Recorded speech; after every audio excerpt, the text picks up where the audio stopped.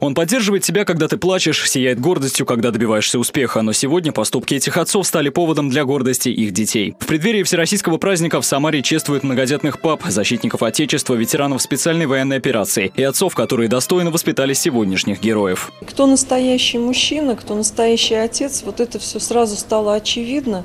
Кто готов защищать свою родину, в понятие, чего он вкладывает, и, конечно, в первую очередь свою семью, своих детей, своих родителей, своих дедов, память о них. Да? Вот тот и настоящий мужчина. Для ветерана спецоперации Дмитрия Назарова День отца особенно важен. Мужчина воспитал двух сыновей. Сейчас нянчится с внуками. Без достойного примера обойтись нельзя, отмечает Дмитрий. У меня двое детей, внуки уже есть. Поэтому я беспокоюсь за их будущее. Поэтому пошел. Я считаю, что я свой долг выполнил.